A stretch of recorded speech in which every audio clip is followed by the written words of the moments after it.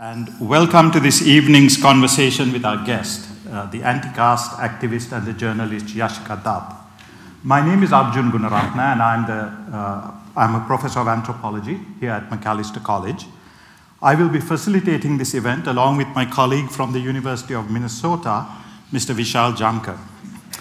I would like to begin by honoring the fact that we are on Dakota land. This is the ancestral homeland of the Dakota people who were forcibly exiled from the land because of aggressive and persistent settler colonialism. We make this acknowledgement to honor the Dakota people, ancestors and descendants, as well as the land itself. Macalester sits near Bdote, the sacred meeting point of the Mississippi and Minnesota rivers. In the words of the Reverend Jim Bear Jacobs, Bdote is a place of genesis and genocide, both realities alive in the land at once. We recognize that this acknowledgement itself is not enough and only serves as a first step towards decolonization. I also want to acknowledge the tremendous support those of us organizing this event have received from a number of institutions and people, both at Macalester and in the wider community. At Macalester, the event is sponsored by the Departments of Anthropology, Asian Languages and Cultures, Asian Studies, History, International Studies, Religious Studies, Women's, Gender and Sexuality Studies, and Political Science and by the Institute for Global Citizenship, the Center for Religious and Spiritual Life, and the Provost's Office. The East Side Freedom Library, which is live streaming this event, the Institute for Global Studies, and the Interdisciplinary Center for the Study of Global Change, both at the University of Minnesota, along with GV Films, an Indian film production company, and the Twin Cities South Asia Solidarity Collective all have made it possible for us to bring Yashica Dutt to campus today. We are deeply grateful to all these organizations and to Macalester's provost, Lisa Anderson Levy, for her support. This is an event not just for the Macalester community, but as this list of sponsors indicates, for the Twin Cities generally. We hope that this event will help to intensify efforts to have caste discrimination explicitly made illegal in our educational institutions, our workplaces, and in Minnesota more broadly. Before I introduce Ms. Dutt, I would like to introduce my fellow facilitator at this event, Mr. Vishal Jamkar, who is a PhD student in public affairs at the University of Minnesota. He is engaged in praxis-based research on the issues of caste, indigeneity, natural resources, and the politics of development. He started his professional career as a chemical engineer in a lubricant company in Mumbai, India, but soon shifted to the nonprofit sector. For about 13 years, he worked as a community mobilizer with Dalit and Adivasi, that is, indigenous community collectives in central India, around issues of social justice, natural resource management, forest rights, and the right to work and was an advisor on rural development programs to the Government of India and the state governments of Chhattisgarh and Madhya Pradesh. Like Ms. Dutt, Mr. Jamkar started exploring his Dalit identity after the death of the Dalit student Rohit Vemula in 2016. Since then, he has been voraciously reading, reflecting, writing on the issues of caste and indigeneity, and through these processes, trying to heal to become a whole person from, as he puts it, his earlier broken, crushed, and scattered identity. This event is intended to be a conversation among the three of us. Ms. Dutt will read some excerpts from her book, and then Mr. Jamkar and I do have some questions for her. And there'll be time for questions from the audience, so please have them ready. I do ask that you keep them brief and to the point. And to those watching on Zoom, Please put your questions in the chat and put a big letter Q before them so that we can distinguish them from the comments. And we will do our best to get to them as well. And now let me introduce our speaker, Yashica.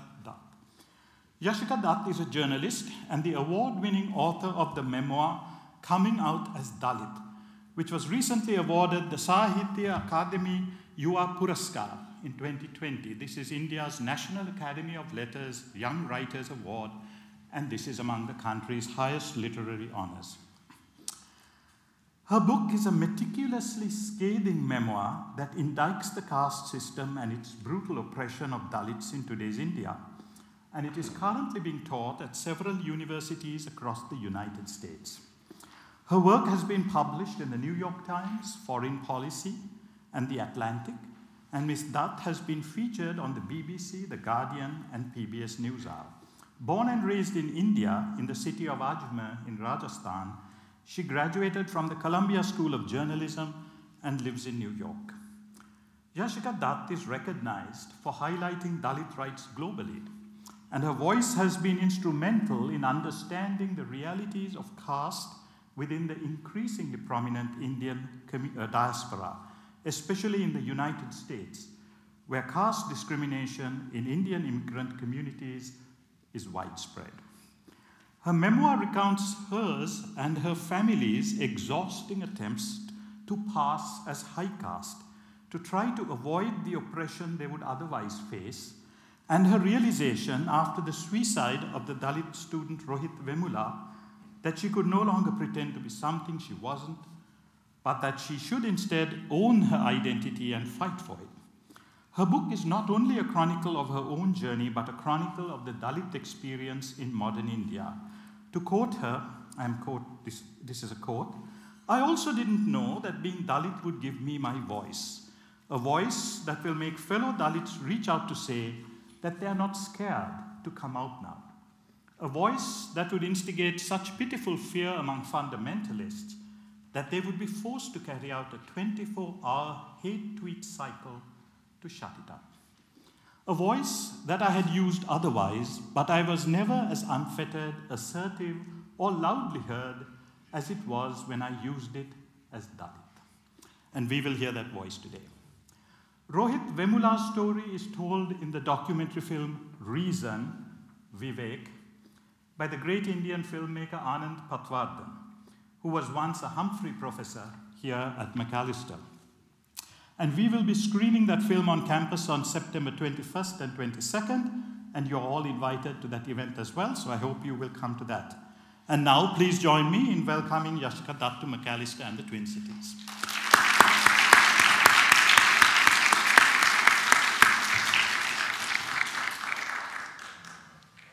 Thanks, everybody. I'm really excited to be here. This is my first time in Minneapolis. That was way bigger than the introduction I sent you, so thank you. uh, thank you, Vishal. It's rare that you get to share a stage with another Dalit person who has had the same journey, so I'm extremely honored that we will be in conversation today. I hope those of you on Zoom, all of you here, take away something really important from this conversation, take away an understanding of caste. Uh, before we get into the talking portion of the evening, I'd like to read a few sentences, paragraphs from this book. It's my well-worn copy of Coming Out as Dalit.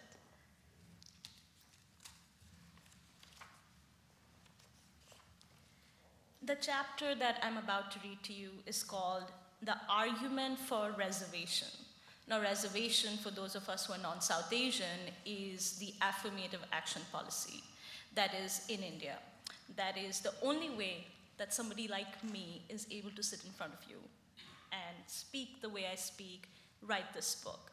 It's because my grandfather was allowed to sit in the same class as upper caste students, and that started a cycle that allowed me to move to the US and write and speak in English. So this chapter is called Argument for Reservation. I'll take you from the middle.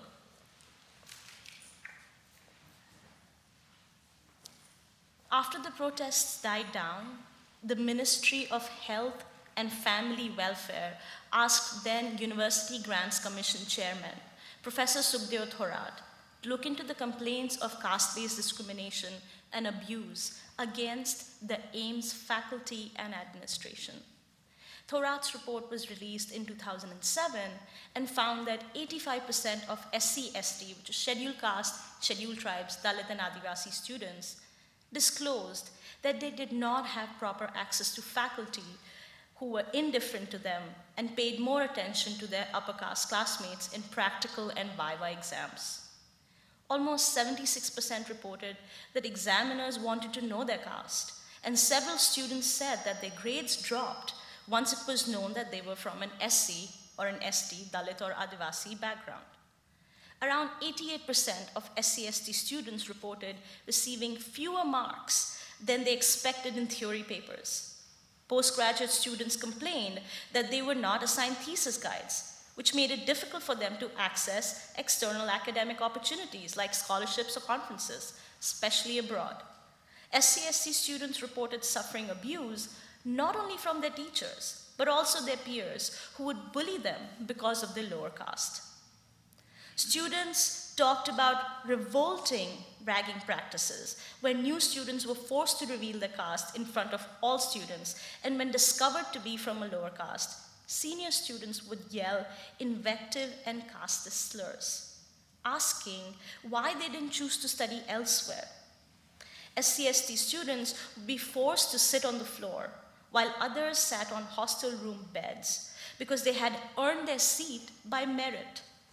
SCST students would have to recite 10 reasons why I don't belong in AIIMS in this institution. SCST students were abused both physically and verbally if they were unable to do that. These targeted hazing rituals ensured that even students from caste neutral backgrounds would become hyper aware of their differences, creating casteist hierarchies where they didn't exist before. These hazing rituals are designed so SCST students would start their years at AIIMS and their careers feeling inferior, while upper caste students held on to their sense of superiority. This kind of ragging, which is common in medical and engineering schools in India, is horrifically isolating and aims to dehumanize its victims so the oppressors would share no sympathy with them. They create to duplicate the original rules of the caste system of denying education to Dalits in modern India. Specific to AIIMS, which by the way is one of the largest medical colleges in India. Specific to AIIMS, these patterns of abuse and humiliation often follow SCST doctors into their careers. Many of them, like Mumbai resident Dr. Rohan Kamble, who wrote into Documents of Dalit Discrimination, which is a blog that I started in 2016. Many of these students are terrorized into giving up their higher education. This also leaves a lasting impact on the students' mental health, as many of them come from poorer backgrounds. They find it impossible to thrive in this kind of a toxic academic environment. Of the 16 Dalit student suicides in North India between 2007 and 2013, two were at AIIMS. Balmukund Bharti had topped his school in Bundelkhand and scored a high rank in the IIT entrance examination, which he had given up to join AIIMS. Bharti belonged to the Chamar community. Chamar community is a community of lower caste, like myself, Dalit folks who deal with dead animals, who deal with leather. He came from Kundeshwar, a small village in Madhya Pradesh. He committed suicide in 2010 after repeated incidents of caste based harassment. The college principal allegedly told him, You can never become a doctor because you don't have the brains. Dalit activist and documentary filmmaker Anup Kumar, in his documentary series Death of Merit, interviewed Bharti's parents, who recalled their son's terrified reaction to the principal's diatribe. Despite the obvious harassment, the college administration refused to take any responsibility for his death. Instead, they blamed his lack of English language skills and his inability to cope with the coursework. Less than two years later, in 2012, another ST Adivasi student, Anil Meena, who was the second topper in the scheduled tri- tribes category of the AIIMS exam, also killed himself. Kumar's documentary examines both their deaths and holds the college directly or indirectly accountable for them. But AIIMS doesn't seem to reserve its casteism for its students alone. The Dalit Adivasi faculty also complained of illegalities in their hiring and promotion, according to the Thorat Committee report.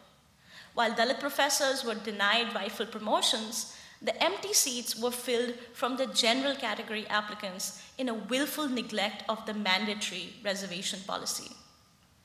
The AIIMS administration dismissed the findings of the Thorat report, questioned its methodology, and called it biased and unsubstantiated.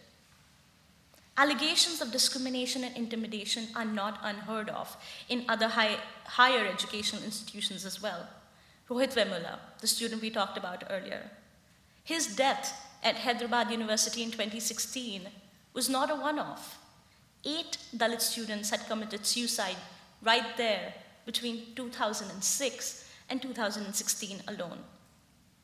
Rohit's death has been categorized as institutional murder for many reasons.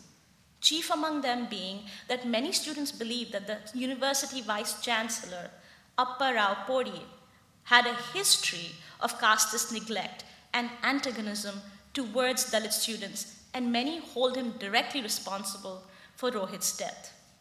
Hyderabad University, like AIIMS, encourages the isolation of Dalit students with the lack of merit scare, scare tactics, like outing Dalit Adivasi students with a star under their name, even if they have not availed themselves of the reservation or affirmative action policy. Deepthi Krishna, a PhD student at Hyderabad University, narrated her mother's ordeal in the, in the documents of Dalit discrimination, Tumblr. When her mother was a student there, decades ago, her roommates had set fire to her room. Terrified of a similar harassment, Krishna refused to avail herself of the reservation, even though she was entitled to it as a Dalit student. Like at AIIMS, in Hyderabad University as well, Dalit postgraduate students are frequently denied thesis guides and find the scholarships blocked. These scholarships, for many students like Rohit, not only supported them, but also helped sustain their families. Senthil Kumar, who had pursued a PhD despite his difficult financial background, committed suicide in 2008 when the university repeatedly denied him a guide and suddenly withdrew his fellowship. Kumar was from Salem, a small town in Tamil Nadu, and the entire family had worked hard to send him to college. He was the first in the family to pursue higher education. Like Rohit's mother, they depended on the money he sent home. It's not hard to imagine Kumar's helplessness and frustration that drove him to take his own life. Madari Venkatesh, another Dalit PhD student, had killed himself by consuming poison in 2013 when the Hyderabad University administration hadn't allowed him a permanent guide or a laboratory. Former Supreme Court Justice in India, K. Ramaswamy, reported in 2016 that these delays in allotting guides were based on ambiguous procedures and mostly affected Dalit Adivasi students in the university. Earlier in 2013, a group of 29 academicians had identified administrative indifference, and hostile regulations as a cause of marginalized student suicides in Hyderabad University. But the university's administration asked for scientific proof for sociologist Sahij Hegre's analysis that students from marginalized backgrounds were alienated. All these universities seem to follow the same playbook on how to exclude Dalits the academic performance of the students seems to be less important than their lower caste. Ragging, institutional bullying, and lack of support for Dalit students causes many of them to commit suicide and discourages other Dalits from applying to these important centers of learning, leading them to be further excluded from these fields. This sends a clear signal to young Dalit aspirants that these prestigious colleges have no place for them regardless of what the reservation policy dictates. The toxic belief that quota students or reservation students are innately less able or talented than general category students is at the heart of this exclusion. So I focused a lot on student suicides, and I fully understand how that can be triggering.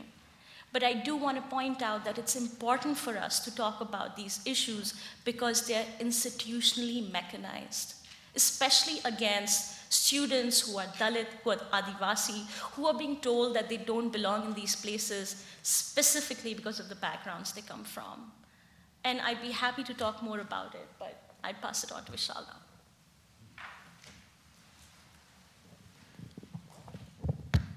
Jai Bhim, Hul Johar, and hello. Let's reverse the order today. Uh, what an honor, Yashica, to be sitting beside you. Uh, it's a mutual uh, honor indeed. Uh, and this, this book uh, uh, that brings me here, I just briefly want to put it in context, in time, and, and as a person. When I started my exploring my own identity, I was really looking forward to, you know, autobiographies by which I could relate to. Uh, because at one point of time, biographies used to be a way for Dalit people to exert their identities when they were not trained in big schools, they were not theorizing. I, I read like coming from Maharashtra, read Daya Pawar, Baburao Bagul, even Baby Kamble and Urmila Pawar. But I was still not finding my guru. Mostly these people came from Ambedkarite, Buddhist background, and they were kind of, you know, brought up that way having Dr. Ambedkar's photo in their, uh, in their main hall. That's when I came to uh, this book around 2018, and, and I would definitely say that Yashica and this book represents that erstwhile scheduled caste people who grew up hiding their caste, like me. I, I grew up like that. My parents wanted me to hide their caste. Uh, and passing out as upper caste right?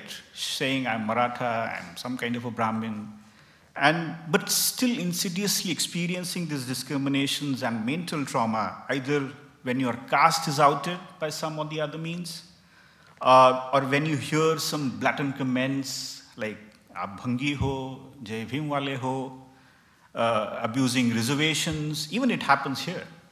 Uh, segregating across, say, food habits, or even some of the well meaning friends uh, saying that, oh, that discrimination doesn't exist. Why do you say that? And, but, but eventually you realize a misfit is there, that something is missing. You need to take up that identity, otherwise the whole world doesn't fit in. And probably that moment occurred to me, and this book helped me to relate to it, accept my privilege as a, as a cisgendered man. I guess there is a lot of things that I, would, I was able to relate to that and I'm sure there are a lot many, even those who are here or maybe watching on Zoom, uh, friends of mine coming from Dalit and Adivasi, nomadic tribe background, who do not disclose their identity in their professional backgrounds. Fear, fear of being outed because they were seen as less deserving uh, or not sharing a pedigree that mostly they see outside. I think this book represents all those people uh, and that's, that's why it's unique. It needs to be told, and, and thanks, Yashica, for doing that. Uh, and coming to the book, uh, I think I wanted to ask you on this point that you know you were pretty settled as a journalist when you started uh, kind of you know working, uh, and then that's when you kind of you know 2016 happened, and it's a kind of a pivotal moment for most of the Dalit Bahujan Adivasi students. What happened to the Rohit Vemula? And then you decided to uh, kind of you know come out as a Dalit. So I'm curious to know, uh, especially discussing with a larger audience, if uh, you know why why did you decide to come out as a Dalit? Wouldn't have been all right just continuing to live your life, which was pretty successful at that time, working with some of the uh, great media houses in India. Would like to know more about that. Yeah, thank you for that question. Um, of course, it would be all right. There is nothing wrong with not coming out as Dalit. There's nothing wrong with um, hiding your caste. And I know a lot of folks, especially people on Zoom, will heavily disagree with me. But this is how I feel. It's because I have lived that reality. And if I had continued to hide my caste, it would be totally okay. But after reading Rohit Vemula's last letter, and I would urge all of you to go back home and look it up because those are one of the most significant words written for Dalits across the world. I would say it's the singular most important text written in English and Dalit literature that brought about this kind of change for so many people across the world. two of us are sitting right here. And when I moved to the US, I think I had already started that shift. That, you know, when I was living in India, it's like fish living in water. If you ask them what water is, they'll ask you what, you know, they won't know. But that's how we felt with caste. When you come to the US, it's when you realize that there are folks here who take these things seriously. Things that back home in India, as Dalit people, we are told to laugh off. We are told to ignore. We are told that this is just what our lives are going to look like. When I moved to US, and specifically when I moved to Columbia, I had the good fortune of attending classes with a really diverse set of students. A lot of them were queer, a lot of them were racially diverse, a lot of them were black women, black trans people. And I think from them, I learned how to use my voice. And I've said this before, and I want to really reiterate a lot of this book is inspired by the work black folks have done in this country. And it continues to sort of give me the strength and lead me by example on how to do things. Because in India, we don't have a module to do that. So when I was here in those classes, I've written about this in the book. They asked us to write about you know, one of the worst things, the kind of experiences with discrimination that you faced. And I wrote about mine, but in kind of a mock way. Like I, I was joking about it, you know, look how bad it is in India. And when I narrated it in class, I still was saying it in a very tongue-in-cheek way. But my students, the, the students I was in class with, looked horrified. And it was when I saw the anger and the pain on their faces that reflected to me that what has been happening to my to me my entire life was wrong that is when i realized that this caste system that we have been forced to live with this hiding of identity this burden that we live with is a burden it's like you know i write in the book it becomes like a carcass that you carry it on your back for so long that it fuses with your body and then you refuse to see that it even exists until you see it in a mirror of someone else. And I think for me, that process had already started. But Rohit's last letter was kind of the catalyst, which is, you know, and I want to sort of make it very clear this was a process. It did not happen overnight. So, those of you with Dalit folks who feel like they can just come out, of course you can, but this will take uh, some amount of work. And I was doing the work and when I read Rohit's letter, it seemed that I could no longer be silent because, you know, I was here at Columbia at a safe distance. I never talked about my identity. And here he was, this 26 year old activist student whose mother was sewing clothes and sending him to school, sending him to college. And despite the inequality that he faced, he chose to use his voice. And that really struck me that, you know, that could have been me with just a few different permutations and combinations. And that's when I decided that I'm safe. I'm in the US. And of course, discrimination exists. But by then, I had guarded myself enough to not encounter it directly. I don't work in tech. I famously don't befriend a lot of South Asians. So I just eliminated those possibilities. But that's how it was important for me to use my voice because there was nobody else to tell me how to do it. You know, when I looked at media, I'd worked in Indian media for a long time, and the only conversation that we heard there was about reservation, the affirmative action policy. And in pretty derogatory terms, they would say Dalits are grabbing the seats that they don't belong to them, that Dalits don't deserve to be in these places. And that's the only conversation I was aware of. So after Rohit's death, I wanted to create a different kind of conversation where people like Rohit, people like myself, people like you, we could just convene and talk about how traumatizing it is to be a Dalit person, to be an Adivasi person, to have an oppressed caste identity, so that we don't have to wait, and not all of us have the privilege to be in a class in the United States where we can see on the faces of our classmates what trauma we have experienced. I wanted to create that space for all of us. And that's how the Tumblr, Documents of Dalit Discrimination, was born. And um, I realized that I can't ask people to share their stories unless I share mine. And that's where I wrote the note where I said, Today I'm coming out as Dalit. Thank you. Thank you, Yashica. Uh, going to the next point, I, I see when I also went to, like, you know, when I started studying, uh, my, I wanted to, like, study, I like chemistry, so I went to my dad and said, you know, I want to do something related to chemistry. He said at that time the only option was engineering, so chemistry became chemical engineering. But my father was always to the fact that, you know, he said, what is the best chemical engineering college in the India? So I think there is someone in our family who really titillates or supports that particular passion and directs it, even though he didn't know what was the best chemical engineering college.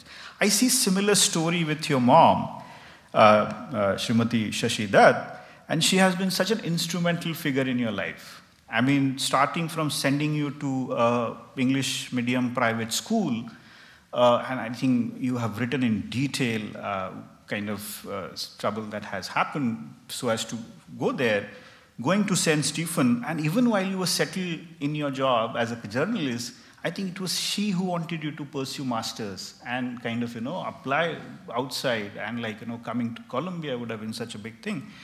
So she really stood out in this book. And, and I think she's as much as a kind of a central figure as much as you. And it's such a, such a kind of, you know, relatable experience. Could you tell more about your, your mother and, and what does she feel seeing you today like this? Uh, thank you for that question. I think you accurately pointed out this book is as much about her, more about her than it is about me, in fact. It's more about her, it's more about Dalit folks everywhere. Um, I think this brings me to the point of how trauma and caste runs across generations. I want to talk about my own story. My mother's father was, um, he was not in the manual scavenging profession. He studied to become a civil servant in India. His wife was in the manual scavenging profession. She supported him by doing the dehumanizing work that allowed him to study and give the exam and, you know, create that officer position that so many of us who are Dalit in India really crave. And he achieved some amount of recognition with that.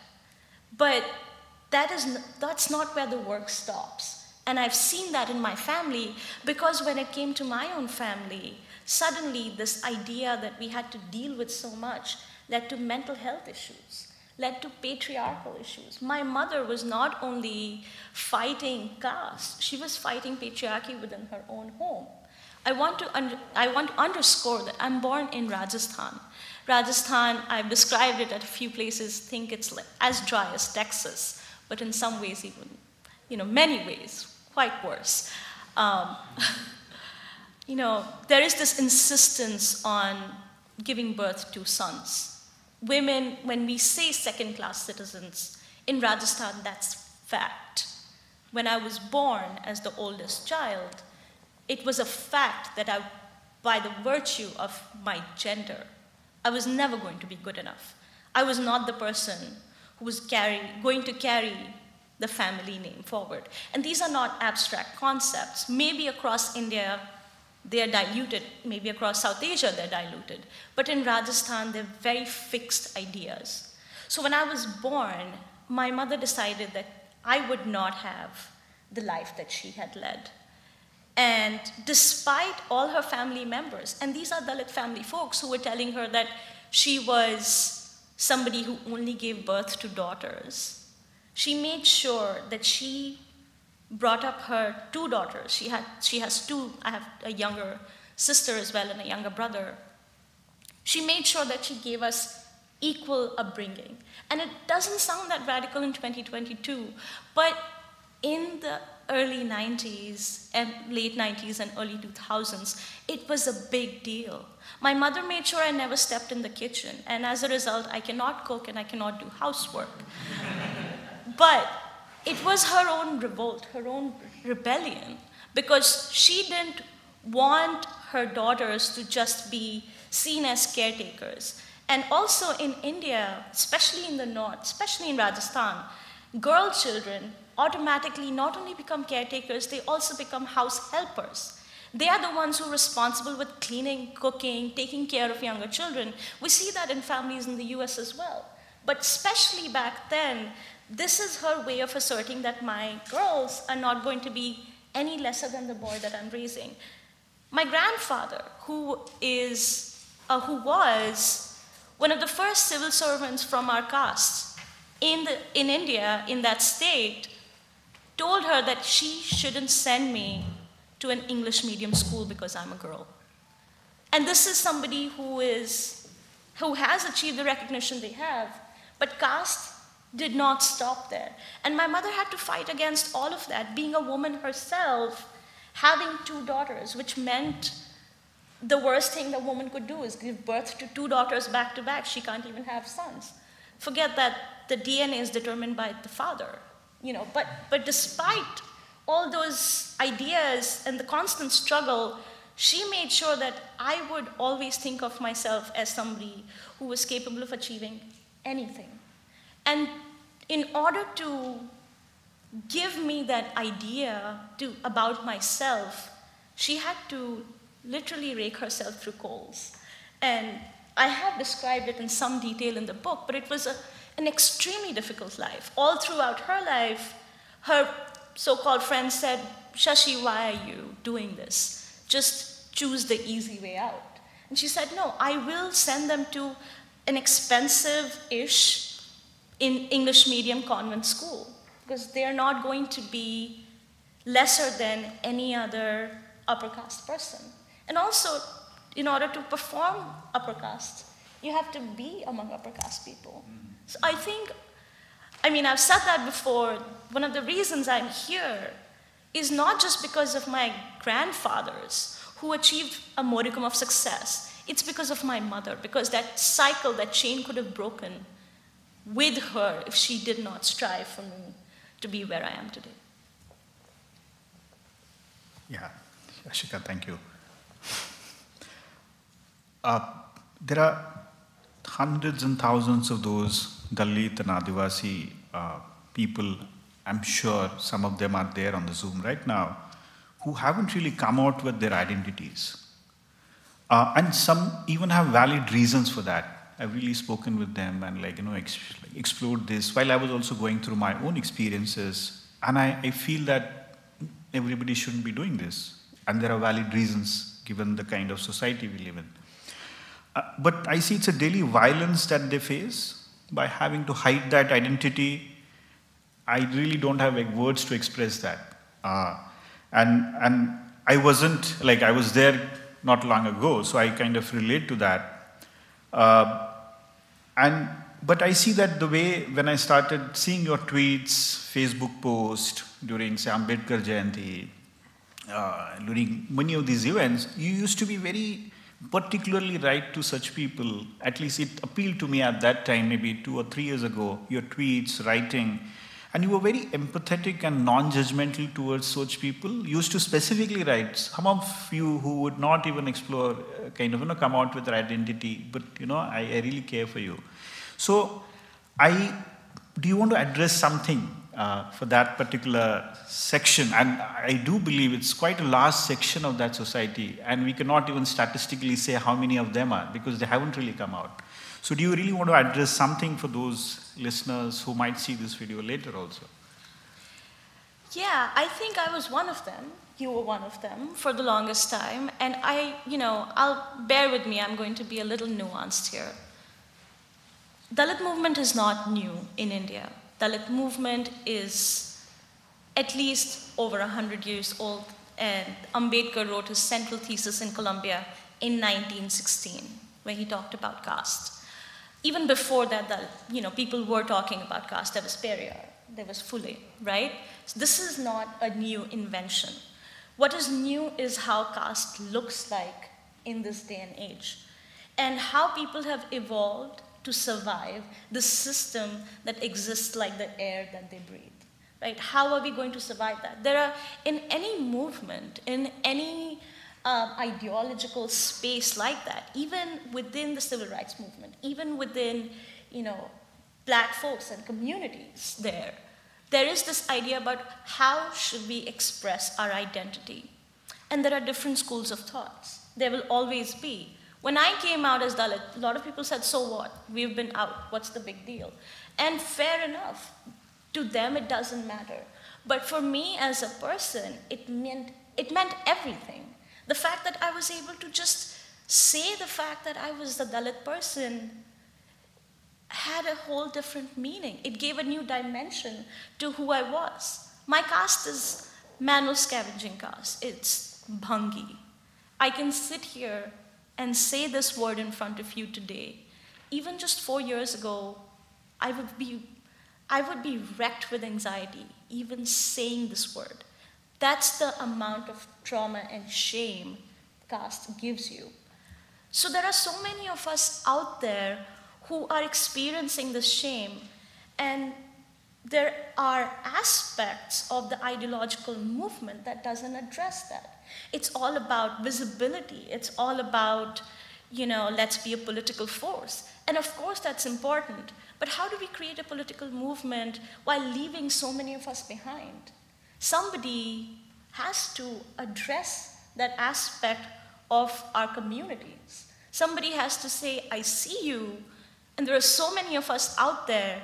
Let us talk about it. Let us just have a safe space to process what it means to be a Dalit person, even if you're hiding your caste. To not have the pressure to say, this is how you should be Dalit, or there is only one way to be Dalit. I wanted, and still want to, my effort will constantly be to talk about how being Dalit is a multidimensional identity. I want to talk about my mother. She is extremely religious. And I'm sure if a lot of people saw this on Twitter, which you know, I'm bracing myself for, it's going to be a point of contention. How can she be a Hindu? How can she practice Hinduism while being Dalit? That is antithetical to the movement. But that is just how she thinks. For her, being Brahmin or being perceived as Brahmin is the biggest rebellion. Who's going to go and tell somebody who's 65 years old that they're wrong and they're going to have to change their way of life? We can't do that. So I think it's worthwhile to address these nuances that exist within our communities and to talk about and to create a space to talk about it. They're not bad people if they're not asserting themselves to be Dalit. They're still undergoing that trauma.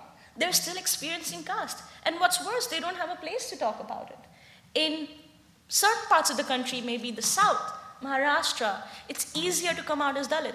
In places like Rajasthan, places like Uttar Pradesh, it's almost impossible. So we have to take all those nuances and have this larger conversation instead of having a unidimensional identity or a way to be a Dalit person. So if you are a Dalit person watching this and haven't come out, don't feel rushed. You don't have to. Just read Ambedkar. Yashica, so following up from that, uh, you know that some of the uh, responses that have been made to, uh, you know, to the attempts to draw attention to caste discrimination in the US is that it is anti-Hindu and it is Hindu-phobic. I wonder how you would respond to that sort of assertion. That's made by some upper caste people in this country. So I want to just address exactly what you said.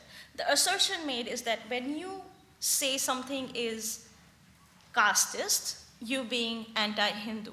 Let's just walk back that logic a bit. What does that mean? I belong to a Hindu family. My mother is still a practicing Hindu.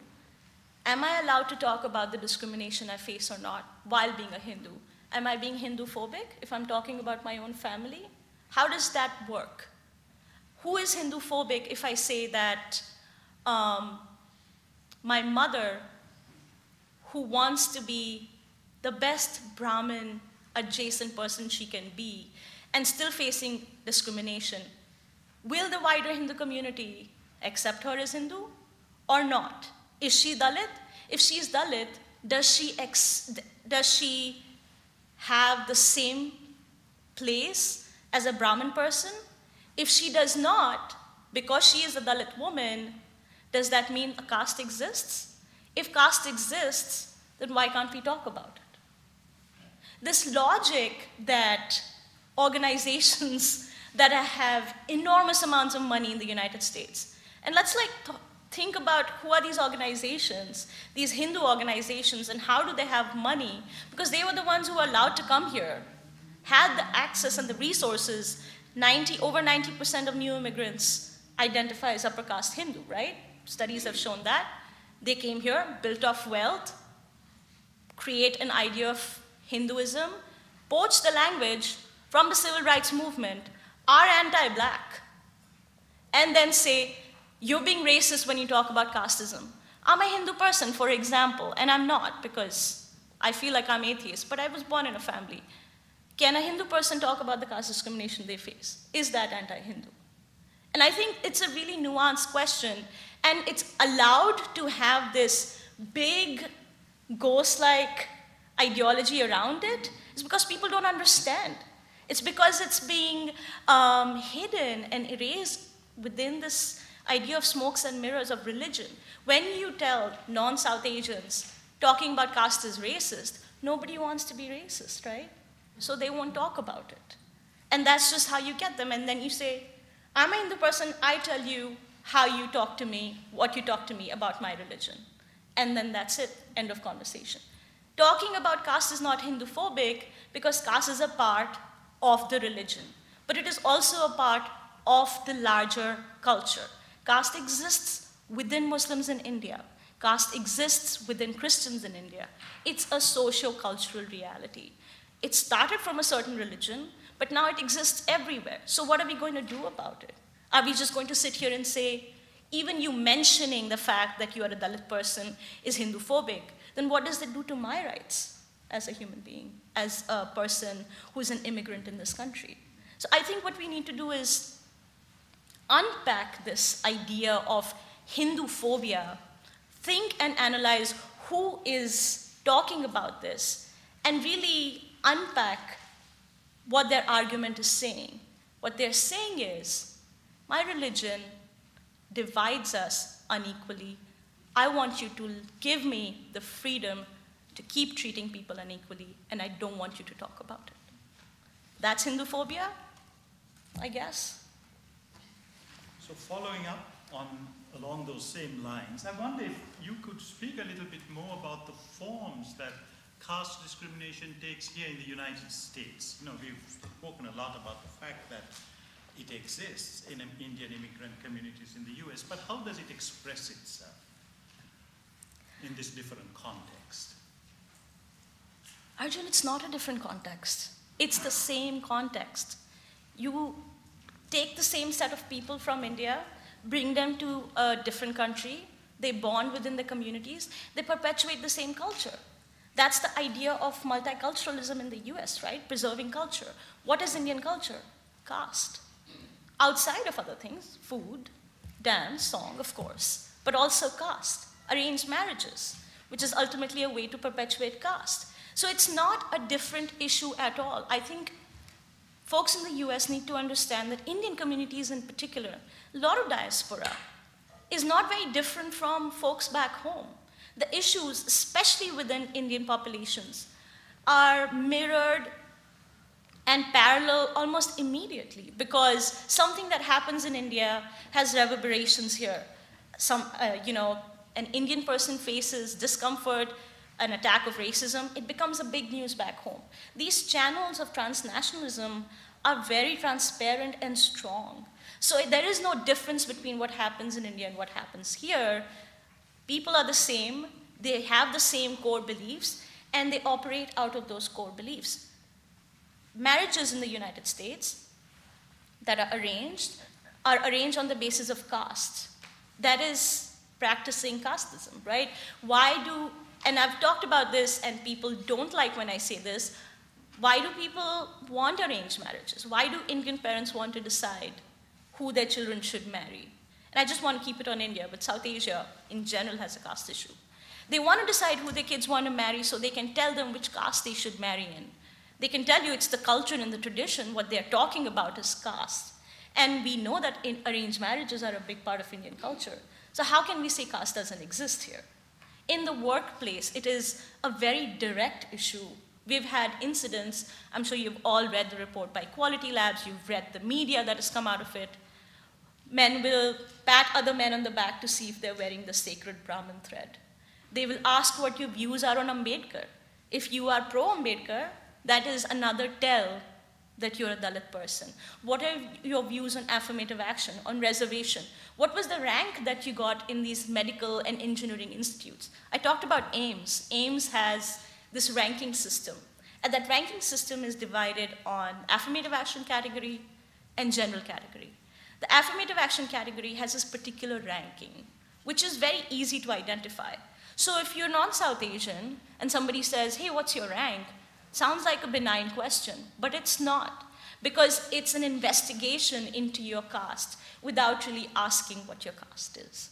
Caste is very much here. It's in our networks, it's in our marriages, it's in our workplaces, it's in Dalits not being allowed to enter temples.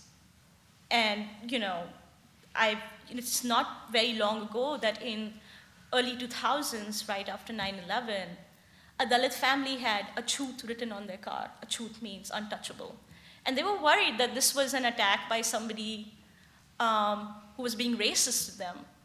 They maybe didn't have to fear that so much. What they had to fear was their own community. I have actually one last question for you. Sure. And after that, I think we will throw the question time open to the audience. And I can already see, uh, you know, the Zoom being populated with questions for you. So we want to leave enough time for that. But one of the most uh, striking things for me in your book was an incident you described at the University of Hyderabad, where there was an upper caste professor who controlled a well, and only students and faculty of high caste were allowed to drink from that well. And this was the case, I think, until 2014, when he retired. Um, and I found that quite astounding because even with all the problems we have with race in the United States, I cannot imagine a university, or in fact any place in the United States where you could have a whites only drinking fountain in this day and age. Perhaps I'm wrong, but you know, I, I, I have a hard time uh, imagining that. And so I was, the question I wanted to ask you, I know that you reviewed Isabel Wilkerson's book, Caste and you wrote a generally very positive review. I would like to ask you what you make of her argument that the racial system in the United States is really a form of caste. Uh, you know, how do you respond to that? How do you see that? Yeah, I think this is a two part question. I'll answer it quickly. So, about finding it hard to imagine that discrimination on the basis of water can happen. It, it happened in the US not very long ago. And the reason it doesn't exist anymore, is, as I'm sure we all know, is because black people struggled and made sure that it wasn't going to happen anymore. In India, it's because we don't have any structures of power. Legally, caste is outlawed, untouchability is banned, but the institutional power all lies with upper caste people. It's not just in 2014. This was one well, this was one example. Water, this concept of who can touch water and what it does to that water when an untouchable person drinks it. That has been a question in India that is as fresh as last month. You know, we were talking about this earlier. This student, 10 year old child, Inder Meghwal, he is from Rajasthan, same state that I'm from, was beaten to death by an upper caste teacher. And when I say beaten, I literally mean beaten. He was beaten so much that he passed away in a hospital because he touched the water vessel that was only meant to be reserved for upper caste folks, upper caste teachers. So it wasn't a whole well, but it was still a vessel of water. And Rajasthan can get extremely hot. This was the hottest summer on record, thanks to climate change. And that water vessel is the only way to have cool drinking water.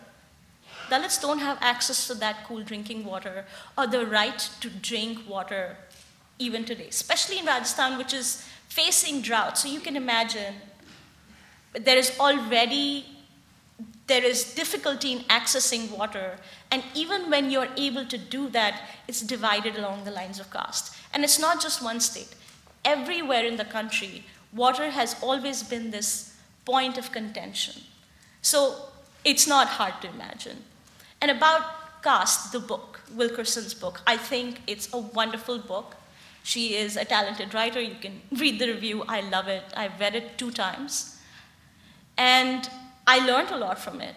But we have to uncomplicate this idea of whether race is caste or race is not caste. I think as a as an intellectual argument, as an academic argument, it sounds great in a way. Those are all systems of discrimination, whether Nazi Germany, whether how you know black Americans are treated in the United States, or the Indian caste system. But the implications of those are vastly different. And slightly unpopular opinion, but ultimately, even the United States is a first world country. It has enormous cultural power. What happens in the US resonates across the world. And thankfully, now, thanks to social media, what happens in other spaces is also resonating here. But we have this massive protest going on in Iran.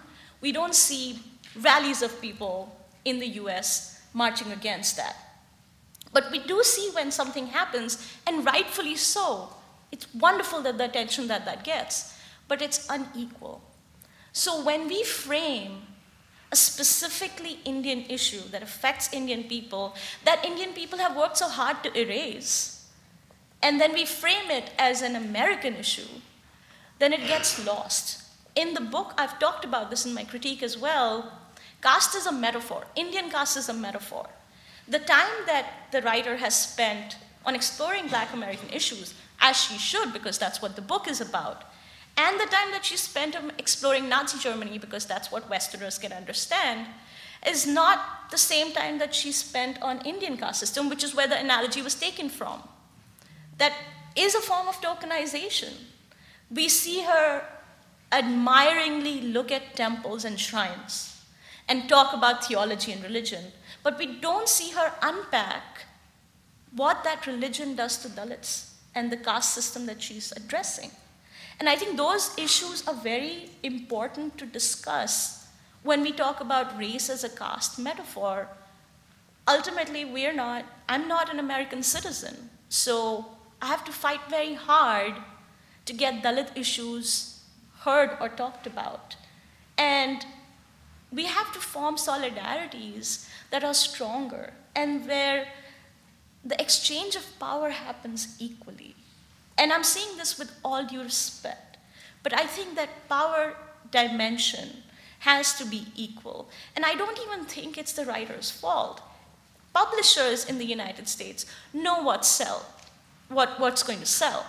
And that's what they include. So I think it's about this, it's a reflection of not what Isabel Wilkerson wanted to include, but what the publishers think is going to be popular. And it has been. So I think caste needs to have its own space because it's, it's a unique problem. It's an invisible issue. Race is visible, caste is not. And that's one of the most important differences. And that's why they, in my opinion, are very hard to be seen on the same plane. Thank you for those views. And I think we now have, we have time for questions from the audience. Uh, we have a bunch of questions from the Zoom, uh, Zoom chat, so I think I might lead off by asking you a question from the Zoom chat. But there are mics circulating, or that will circulate,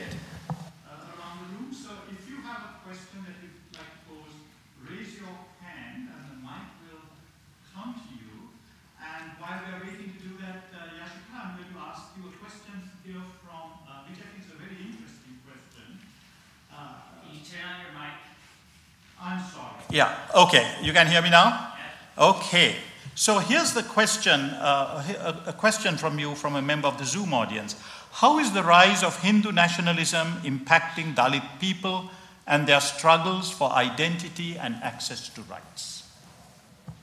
That's a great question, whoever asked. I think so incredible to talk about this because Hindu nationalism is not a recent issue.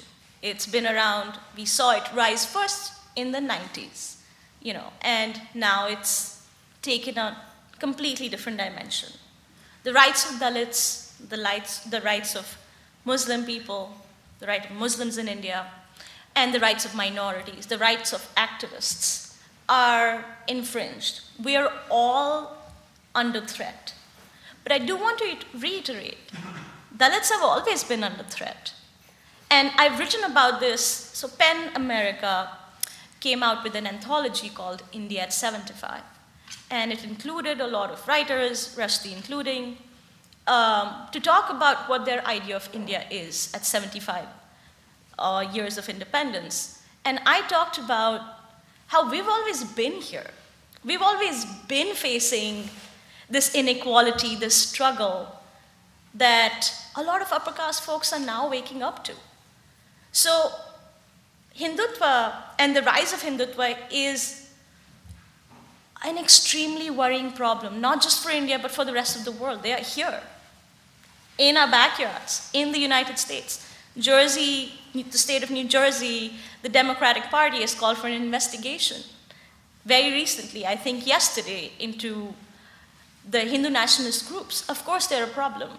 But on the lives of Dalits, these, they haven't changed much. I mean, and you know, I'm happy to be corrected on this. Atrocities have become more visible, and of course, crime has increased. But even within these spaces, there is discomfort to talk about caste. I was invited to a group where we had to put our heads together, big names of people, about what to do about Hindutva. And I said, you know, we should also talk about caste because they're interlinked. I was shut down.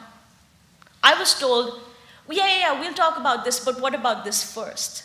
Because that has always been the attitude among upper caste people, upper caste, quote unquote, dominant caste folks. That that's an issue that we can deal with when the time comes. But right now, this is the bigger problem.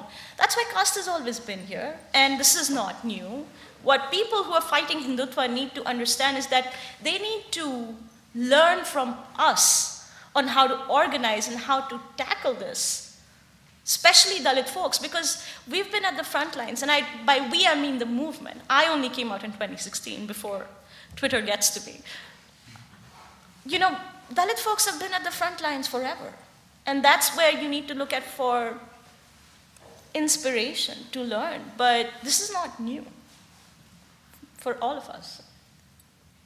Do we have a question? Do we have a question from the audience? Is there anybody? I think we have some questions from the front of the room.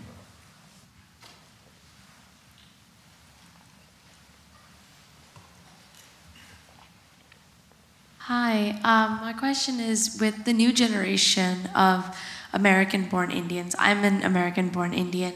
Do you think they are more receptive to Dalits in general because of our education that we receive? And I know growing up, the caste system was never taught right, and when it was, I was horrified. And do you think that the younger generation, the new generation, is more receptive to Dalits and welcoming them into the South Asian communities? Uh, thank you for that question. I think that's great. I would say no. no, the reason I'm saying that is because young folks, all you have to do is look at South Asian TikTok. What's happening there? No one's talking about caste. All they're talking about is spirituality. All they're talking about is how to one up black people and claim a space that is ours, and so we can say, hey, this is our culture, don't appropriate it. That's the only conversation that we talk about. When do we talk about caste? Where's the space to talk about caste? Young Hindu Americans, and I'm just going to single out that one community for a moment, are so protective of their spiritual identity that they don't want to engage with these questions of caste. And unfortunately, so this has been my experience looking at social media, look at speaking to people. I, it's really heartening that you asked me that question because it shows that you are receptive, and there are so many other students who are as well. All the organizing that's happening across the country, right? Uh, whether it's at California, University of Minnesota, it's happening with allies. It's not just Dalit students, it's young Indian American students who are doing it. But there are so few. They are so few and far in between. For us to say that the whole young generation is more receptive to caste and issues of caste would be incorrect because what they are more receptive to is displaying the fact that they're anti caste is talking about the fact that they're anti-caste, not being anti-caste. It's now become a hot button issue, right? Since 2020 in particular, everybody wants to be anti-caste. But I've seen people come here talk about um, being Ambedkarites and then abuse Dalit people when no one's looking. And it's a lot of performativity. We see that in our communities, right? We see that within South Asian communities, it's a BLM in the streets. And, you know, and when they go back home, we know how they talk about black folks. So it's the same attitudes. Unfor- I, the hope is that we get there soon. And I, I really hope that young Indian American folks who are listening to this pay attention, pay attention to how Hinduism is not just about colorful gods and yoga. You know, it's also about caste. Their culture is also about caste. I think there was a question over here. Um, hi, uh, thank you. Uh, I'm trying to decide which question to ask. Uh, uh I think I'll ask the question that's easiest. How do you see the the new movies that are coming out of, with Dalit film producers, anti-caste film producers? They're fundamentally changing aesthetic. I mean, I really enjoy them. How do you see that? I think that's a great movement, and uh, we've seen two or three big names who are Dalits. You know, Pa. Ranjith is one of them, Nagraj Manjule. I mean, Nagraj Manjule's history is complicated, but still, he's bringing forward the Dalit ideology. You know, Neeraj Ghaywan. These are just three names. Let's look at where Bollywood is going now. We have, you know, movies that are parroting government's ideology and then fighting about that movie being represented in the Oscars, and then calling anyone who doesn't like that movie as anti national. So that's why the general theme of Bollywood, and I'm just focusing on Bollywood right now. And of course, Pa. Ranjith is not a part of Bollywood, but at the same time, the anti caste cinema that is coming out is coming out of regional cinema. It's coming out of outside the Hindi film industry that has dominated the, the world. The Hindi film industry, unfortunately, has had its legs completely cut off. The biggest stars are forced to parrot the party line, you know, and if they don't, we see what happened to Shah Rukh Khan and his son. So, is there hope for a new kind of cinema to come out? Absolutely, because these three or four names and they're hiring people who are Dalit, they're hiring people who are Bahujan, who are oppressed caste identities. And they're showing us that it can be done. But this is just the beginning. I think it's a great start, but also we have to look at it in the context of what's happening around us. Yashica, we have a question in the Zoom chat that takes us back to Wilkerson again. And the question is on Wilkerson and the race caste difference, despite the conceptual distinctions, what does an argument trying to see similarities between caste and race mean for politics? And by that I mean everyday politics of resisting discrimination and not necessarily social movements. And I, and, and I think if I might be able to interject something into that question. You and I were talking earlier about the Durban conference mm-hmm. and the fact that caste was excluded because it was not seen or not people did not agree that it was a form of racism. Mm-hmm. And therefore that could not be brought up. Wow, this is a thesis paper. Uh-huh. no, but i am giving ideas to somebody in the audience. yeah, please write about this. No, I think this is such a great question. Thank you for asking this. Um, as a political tool, I think, you know, a lot of this starts with having nuance to these conversations. At least in my experience, ever since I've moved to the United States, we see that things tend to get painted with a very broad brush because we are trying to make a statement to a large group of people. And a lot of nuance, a lot of understanding gets lost. Um, also, I would like to address when they say social movements, but you know, not social movements, but only political, what are we talking about? Are we talking about solidarities between black politicians and upper caste Hindu politicians? Are they going to take up the idea of anti caste politics? We have only one or two politicians who are even addressing caste, who are Hindu or who are Indian American. So it's a really difficult answer to think about at this moment because there are not many Dalits who are in the United States. So, in terms of forming political power, I don't think we have the numbers. We don't have, are we ready for a Dalit senator from the US? I'm, you know, maybe we can answer that question in the next five years. But right now, we, we don't know. So, for now, with so few of us here, when the movement just starting, for folks like, you know, us having to just explain what caste is, I think we have to start with the reality of a social movement because only then we can pivot to something political, something that can change things. But we have to create awareness and understanding. So many minority folks and people from minority communities gravitate to an alternate spirituality gravitate to Hinduism because that's not the oppressive religious dogma that they grew up with. But they also don't understand what Hinduism brings. So that's what, and I, I don't want to just single out Hinduism, I want to talk about Indian culture in general. What does that bring? It looks really great, and it has a lot to offer. I mean, I am proud of the, the arts that we give to the world. I am proud of the music and the dance and the food. But at the same time, it's really important to dissect those ideas and also think about what social movements can do in terms of creating bonds of solidarity between oppressed people, between black folks, between native folks. They need to understand caste first before we talk about political solidarities. I think this is the very beginning of one of the biggest, newest human rights struggles that is finally getting talked about. And also one of the oldest human rights struggles because it's a thousand years old. But finally, it's getting the time that it deserves. Mm-hmm. I have a question here in the Zoom chat.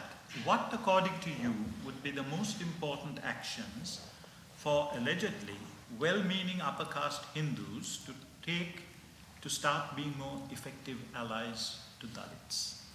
Great question. Should Look, I repeat that? I had uh, didn't have my mic on. Sorry, I keep forgetting. I'll answer that question. What can well meaning upper caste Hindu allies do? We don't need your help as Dalit people. And I don't want to be a spokesperson for everybody, but I do want to say we'll be fine. Talk to your own families.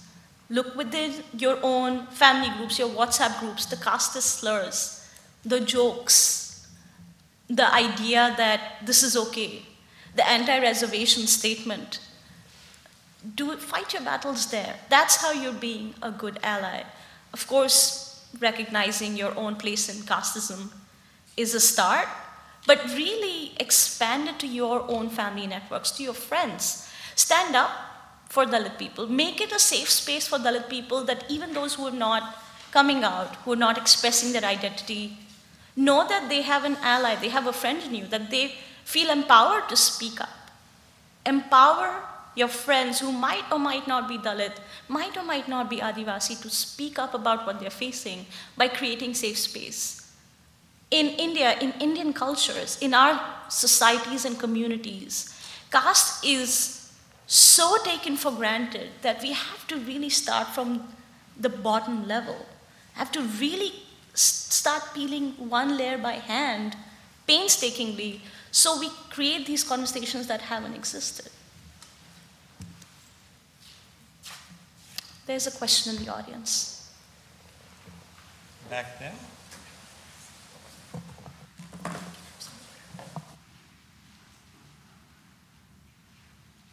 Um, my question is, what have been some of like the economic implications or like effects that you can see now, like more more so on like a local level of the caste system, like in modern day India? Thank you for asking that question. So you mean the economic implications of, of the caste system? Effects or like Effects. some disparities that you can see now. Oh, that's, I understand what you're saying. Okay, that's terrific question. I think I'd like to address it by talking about class and caste. You know, the way we understand it in India, caste and class are very much parallel. If you have money, you must be upper caste. And if you don't have money, you must be Dalit. The reality is, it's not as simple in India. There are so many poor people, impoverished people, who are Brahmin. There are very few, but still, some Dalit people who are middle class. So, caste and class are not the same. But at the same time, the access to opportunity within the same class level is still defined on the basis of caste. So, for example, if there are two people from the same economic subset, one is Dalit person, one is Brahmin, you don't even have to guess who's going to get the opportunity. Who will find it easier to come out of that poverty? Who will find it easier to start a business? Just by way of example, I grew up um, with a lot of income inequality, and my mother tried to start a lot of businesses, you know, just to support ourselves. My father is an alcoholic, did not work, despite his father doing relatively well. So, this is how intergenerational trauma of caste works. And one of the businesses she tried to start was making, having a food truck. It was an extremely daring thing to do in the 90s, especially a woman. And that did not work because we were Dalit. Everybody knew what our caste was. Nobody would have food that was made by a manual scavenging caste person. Nobody would touch the food made by a Bhangi person. That business flopped. We didn't, like my mom, obviously, not even knowing having business acumen, because in India, business acumen is divided on the basis of caste. Business know how is relegated to a certain caste. And Dalits, we don't have any understanding of how to run a business. And that business didn't work. Because who was going to make food eat, touched by a Dalit? And if a Brahmin woman did that, she would have ran five restaurants by now. And that's how class and caste work very differently. And of course, we've been independent for 75 years. India is a progressing nation. Everybody has benefited from that, but everybody has benefited from it unequally. I hope that answers.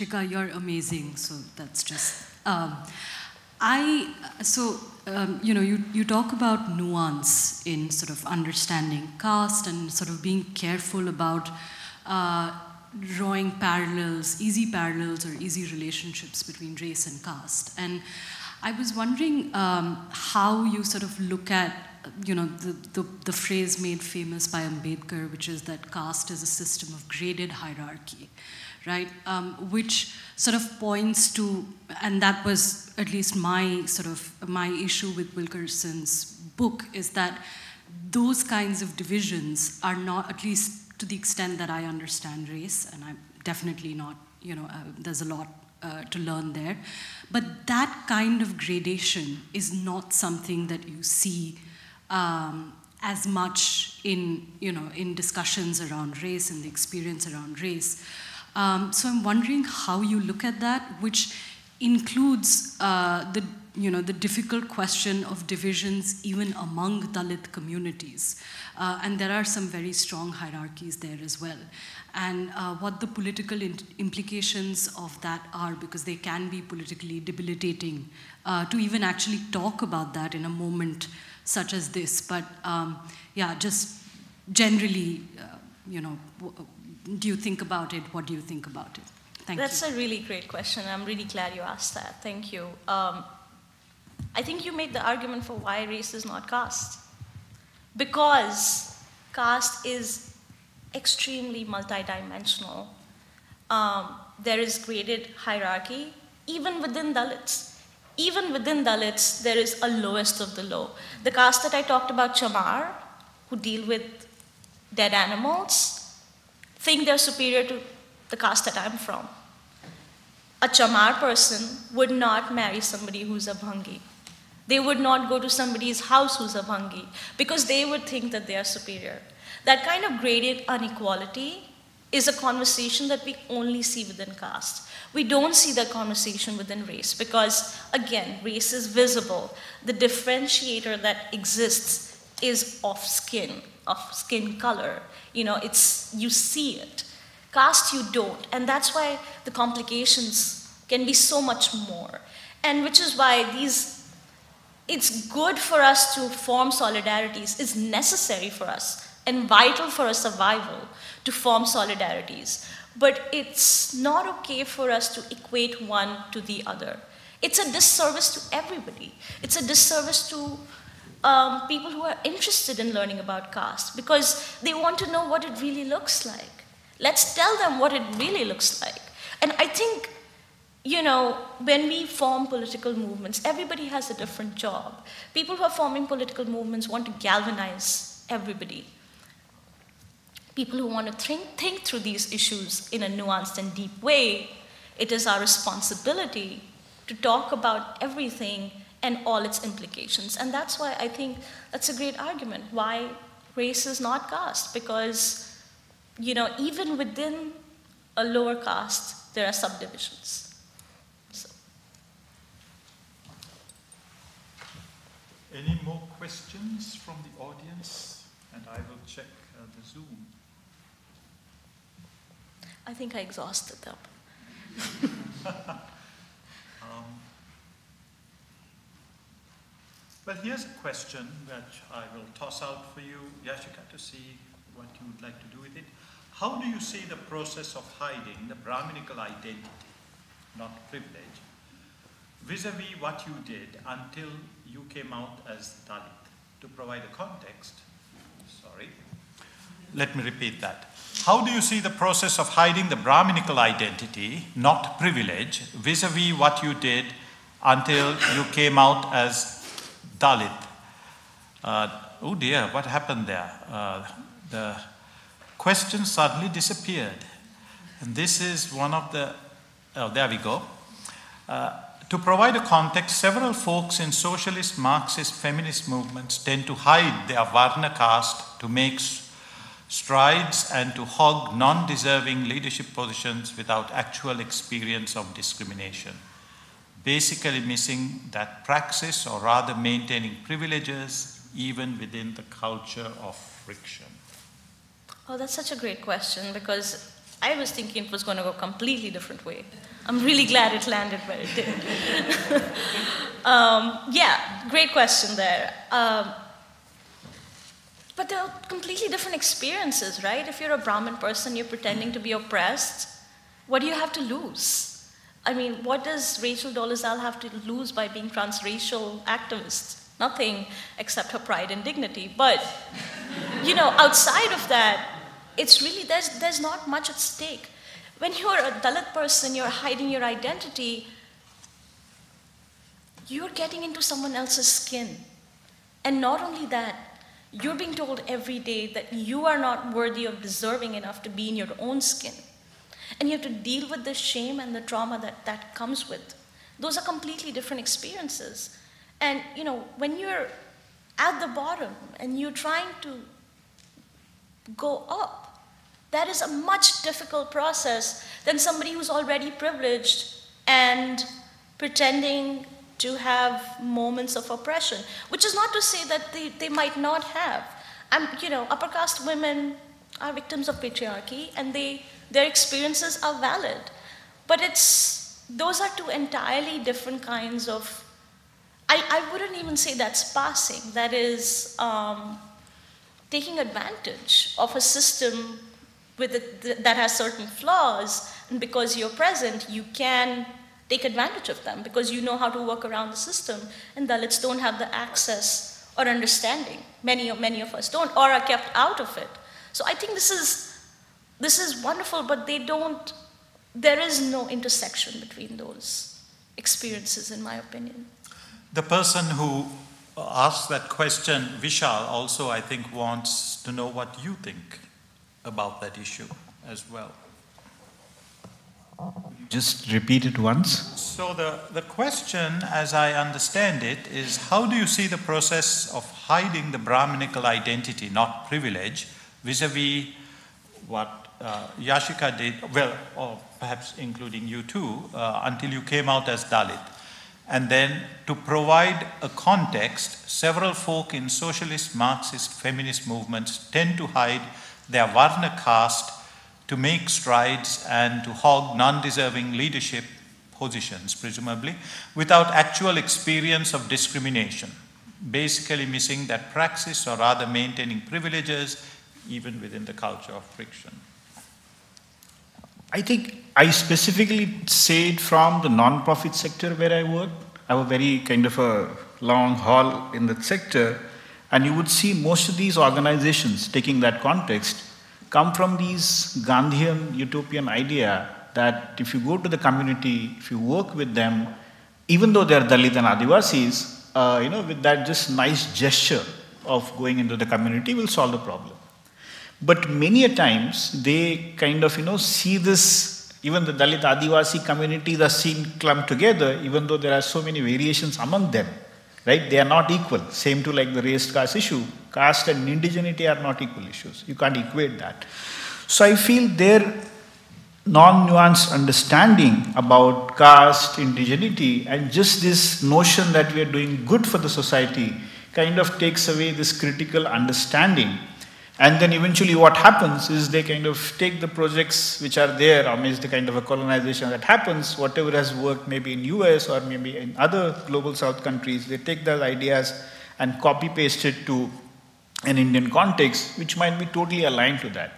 So I guess in that particular context, I would say that not having that, and eventually it happens that you will see the board members of these organizations, the leadership, executive leadership, the management committees, you would hardly find, I bet you, there are hardly like 1% organizations, non-profit, supposedly, forget corporates and the government organizations, but at least these supposedly organizations who work for the benefit of Dalit and Adivasi communities don't have at times single Dalit and Adivasi students in their leadership. If you ask them these questions, why don't you have Dalit and Adivasi as board members or your executive directors? They say it will take time to come for them to come there. But what are you doing for them to come to that leadership position? How are you grooming them differently? And I think that's these are the questions which they ask. And again, this is because they don't have understanding of caste, the nuance understanding. Even forget nuance, even they don't have understanding of caste. And that's why they kind of tend to replicate that. And there is no kind of a way to reflect. Even if you ask them questions, they'll reflect, deflect it rather than kind of you know facing those questions. And I, I was really frustrated to be in that sector, and that's why I made it a move. It's certainly not that academia is purely clean or is devoid of all that. But at least here you get to talk about these issues and reflect and talk that and critique that. It gives you a forum. But of course, this also space needs to revamp itself remarkably. And thank you, Vishal, and thank you very much. Yashica, I think we have now run out of time. So if any of you had questions you wanted to ask Yashica, I'm sorry. Uh, perhaps you can come and ask her after, uh, after we, we end. But I'd like you all to join me in thanking Yashica and Vishal for being here.